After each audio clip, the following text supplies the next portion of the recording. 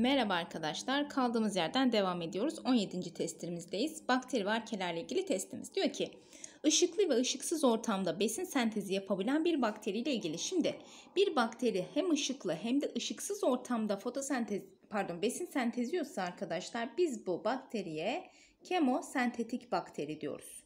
Neden e, fotosentez yapar demiyoruz? Çünkü fotosentez sadece ışıklı ortamda yapılır her iki ortamda da yapabiliyorsa bu canlı kemosentez yapıyordur. Şimdi kemosentez yapan canlılarda ki zaten arkadaşlar şunu da söyleyeyim. Kemosentez yapan canlılar sadece prokaryot canlılardır. Yani bakteriler ya da arkelerdir ki zaten çoğunlukla bakteriler verilir. Arkelerle ilgili çok soru çıkmaz böyle sorular karşınıza. Eee bu bakteriler arkadaşlar hem aydınlık ortamda hem de karanlık ortamda kendi besinlerini sentezleyebilir. Bu yüzden de klorofile ihtiyaçları yoktur. Bunu nasıl yapıyorlar peki? Diyelim ki bir inorganik bir madde var. Bu inorganik maddeyi arkadaşlar oksitliyorlar yani oksijenle tepkimeye sokuyorlar. Daha sonra başka bir madde oluşturuyorlar burada. Artı bir de enerji üretiyorlar. Ürettikleri bu enerjiyi, ürettikleri bu enerjiyi karbondioksit artı suyu birleştirmek için kullanırlar. Tabi burada sadece su değil, su yerine başka moleküller de kullanabilirler arkadaşlar ama karbondioksit kesin kullanıyorlar. Besin artı oksijen üretirler. Tekrardan bu oksijeni yine başka bir inorganik maddeyi oksitlemek için kullanırlar. Dolayısıyla inorganik maddeleri oksitlerler. Ayrıca arkadaşlar bunlar dediğim gibi klorofil pigmentine ihtiyaçları yoktur. Gece gündüz kemosentez yapabilirler ve sadece prokaryot canlılar kemosentez yapar unutmayın. Diyor ki klorofil pigmentine sahiptir. Hayır az önce söyledik. Gece gündüz yaptıkları için klorofile ihtiyaçları yok. Klorofil sadece ışıkta çalışır.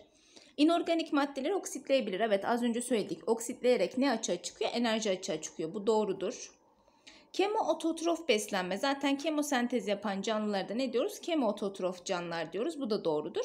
Cevabımız ne olacak? 2 ve 3 olur arkadaşlar. Edirne şıkkı olacak. Şurayı silelim. Geçelim diğer sorumuza. Arkelerle ilgili ifadelerden hangisi yanlıştır? Bazı türleri karbondioksit kullanarak metan gaz üretir. Doğru arkadaşlar. Biz bunlara metanojenler diyoruz. Oksijenli solunum yapan türleri vardır. Bu da doğrudur. E, diploid kromozomlu olup DNA'ları histon proteinleriyle sarılı değildir demiş. Bakın arkadaşlar arkeler de, arkelerin DNA'ları histon proteinleriyle sarılıdır. Bu yanlış. Çünkü eskiden arkeler bakteriler içerisinde alınmış ama bakmışlar ki bakterilerin DNA'larında histon proteinleri yok ama arkelerin DNA'larında histon proteini var. Dolayısıyla arkadaşlar e, arkeleri bakterilerden ayırıp ayrı bir grup olarak e, değerlendirmişler. Ayrı bir sınıflandırma yapmışlar. O yüzden C şıkkı yanlıştır. Histon proteinleri vardır. Diğer organ, organizmaların yaşayamayacağı habitatlarda yaşayabilir. Evet ekstrem koşullarda yaşayabiliyorlar. Mesela aşırı soğuk yerlerde, aşırı sıcak yerlerde yaşayabiliyorlar. Ototrof veya heterotrof beslenen çeşitleri vardır. Doğru. Bazı türleri kendi besinlerini kendi üretebilir, bazıları da dışarıdan hazır alabilir. C şıkkımız yanlış olacak. Üçüncü soru. Arkeler özelliklerinden hangileriyle bakterilerden ayrılır? Bakalım. Ribozom organeli bulundurma arkadaşlar bakterilerde de vardır bu özellik. Dolayısıyla bunda ayrılmaz. Hücre duvarının yapısal özelliği evet hücre duvarı farklılık gösterir bakterilerden dolayısıyla bununla ayrılır. Ekstrem koşullarda yaşayabilme yine bu da bakterilerden ayırt edilebilir bir özelliğidir. Ekolojik yaşam koşulları bu da ayırt edilebilir bir özelliğidir arkadaşlar. Cevabımız 2, 3, 4 olur. Yani Edirne şıkkı olur. Dördüncü sorumuz. Bakteriler 20 dakikada bir bölünerek çoğalır. Buna göre bakterilerin birinci grafikteki gibi çoğalması beklenirken ikinci grafikteki gibi çoğalmalarının nedeni. Şimdi bakın normalde sayılarının sürekli artması lazımmış. Ama ne olmuş bakın sayıları bir süre sonra sabit devam etmiş. Azalma olayı yok sadece sabit devam ediyor. Diyor ki sebebi ne olabilir? Metabolik atıkları ile zehirlenmeleri. Dursun bakalım endospor oluşturmaları, konjugasyon yapmaları. Şimdi ben burada konjugasyon yapıp yapmalarını çıkaramam arkadaşlar. Dolayısıyla bu yanlıştır. Nedir konjugasyon bu arada? İki bakterimiz var. Birinde bir plazmit var, diğerinde yok. Ee, bir bakteri diğerine bu plazmiti aktarıyorsa arkadaşlar yan yana geliyorlar. Aralarında sitoplazmik bir köprü kuruyorlar. Daha sonra biri diğerine plazmitini aktarıyor. Biz buna konjugasyon diyoruz. Konjugasyon olayında birey sayısı artmıyor. Bakterilerdeki konjugasyonda sadece genetik çeşitlilik sağlanıyor. Dolayısıyla konjugasyon yaptıklarını buradan çıkaramam.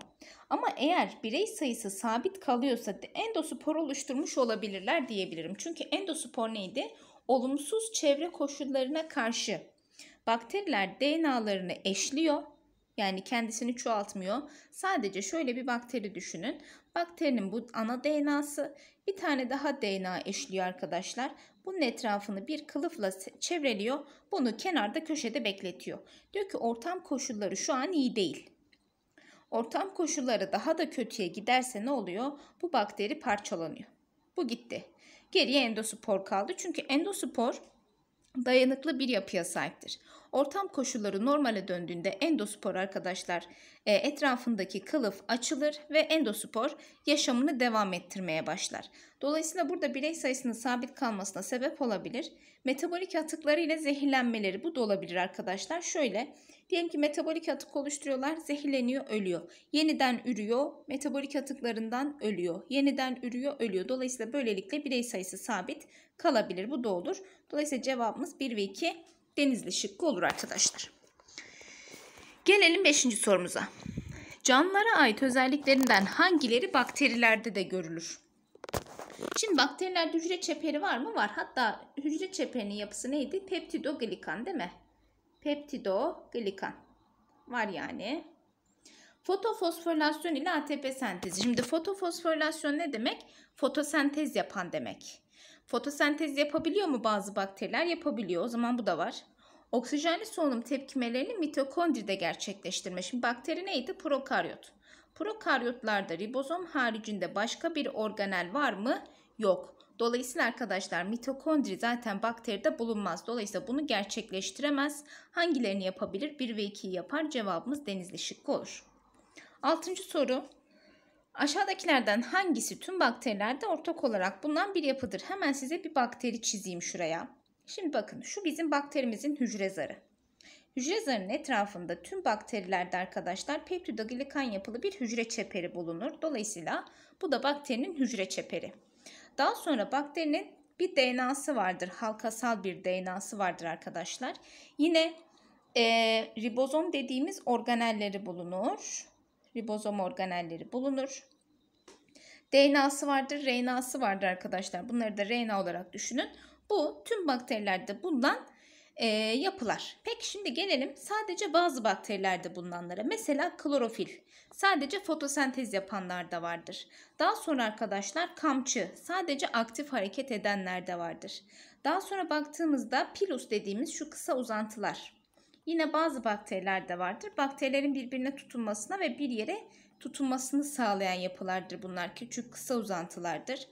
Daha sonra baktığım zaman e, hücre duvarının etrafına bir kapsit dediğimiz bir yapı vardır arkadaşlar. Bu da dayanıklı bir kılıftır.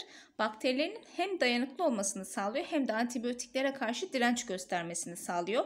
Bu da yine bazı bakterilerde vardır. Yine plazmit dediğimiz plazmit dediğimiz küçük DNA parçacıkları bazı bakterilerde bulunur. O zaman ortak olanlar neymiş bakın. Ortak olan DNA, ribozom, RNA, hücre zarı, hücre duvarı bunlar ortakmış. Bakalım. Şimdi kamçı ne dedik? Hareket edebilenler de var dedik. Kapsül bazı bakterilerde var direnç sağlıyor dedik. Klorofil fotosentez yapanlar da var dedik. Mezozomdan bahsetmedim. Mezozomu da söyleyeyim.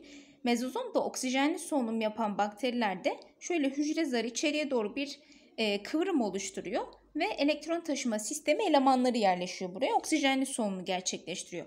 O zaman mezozom da sadece oksijenli solunum yapanlarda var. Bu da gitti ama ribozom tüm bakterilerde ortak olarak bulunur. Cevabımız C şıkkı olacak. Yedinci soru. İnorganik maddelerden organik besin üretebilen bir bakteriyle ilgili. Şimdi bakın. İnorganik maddeden organik besin üretebiliyorsa bu bakteri ya fotosentez yapıyordur ya da kemosentez yapıyordur. Diyor ki ifadelerinden hangilerinin doğruluğu kesindir. Bize kesinlik soruyor. Ototroftur yani kendi besinini kendi üretir. Evet bu kesin. Ayrıştırıcıdır. Hayır, ayrıştırıcılar farklı. Eğer bir canlı ototrofsa ayrıca da ayrıştırıcı olamaz. O yüzden bu gitti. Klorofil ile güneş ışığını tutar. Şimdi ne dedik? Ya fotosentez yapıyor ya kemosentez. Kesin söyleyebilir miyim bunu? Ya kemosentez yapıyorsa o zaman kesin diyemem. Bu da gitti. Ribozomu ile protein sentezi yapar. Evet tüm canlılar zaten bunu yapıyor. Bu da kesindir. Cevabımız ne olur? 1 ve 4 olur arkadaşlar. Bursa şıkkı. 8. soru. Bakterilerle ilgili aşağıdaki yargılardan hangisi yanlıştır? Bazı bakteriler hem oksijenli hem de oksijensiz solunum yaptıklarından ekildikleri deney tüpünün her yerinde çoğalabilirler.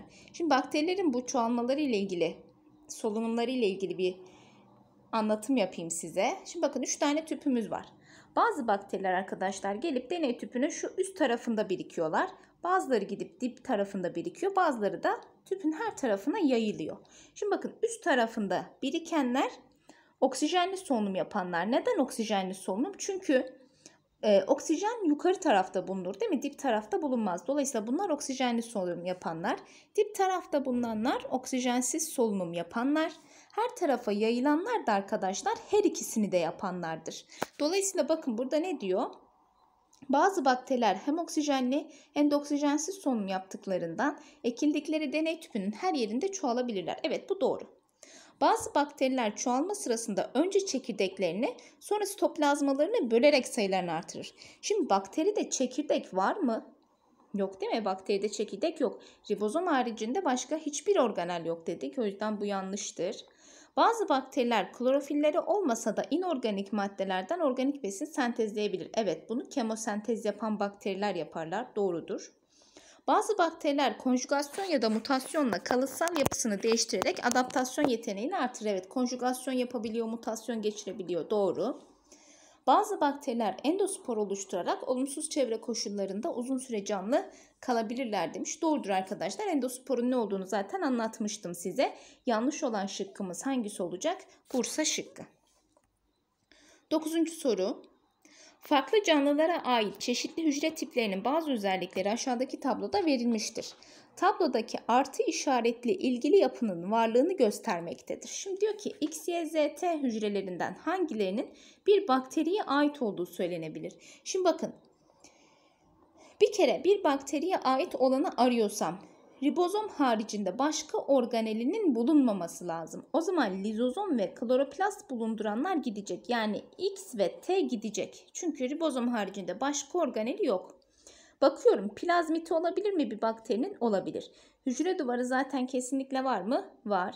E, klorofili de olabilir. O zaman Y de Z de arkadaşlar olabilir mi bir bakteri? Evet cevabımız C şıkkı olacak. 10. soru.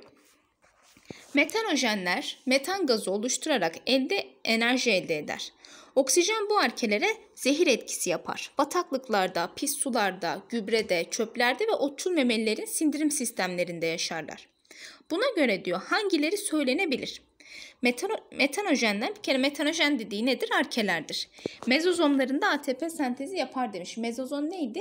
Oksijenli solunum yapanlarda bulunuyordu değil mi? E burada ne diyor? Oksijen zehir etkisi yapar diyor. Zehir etkisi yapıyorsa o zaman bu oksijensiz solunum yapıyordur. Dolayısıyla mezozom bulunmaz bunlarda. Enzimleri zor koşullara dayanıklıdır. Dikkat ederseniz hep zor yerlerde yaşıyorlar. O zaman zor koşullara dayanıklı. Otçul memelilerin sindirim kanallarında metan gazı oluştururlar. Evet doğru.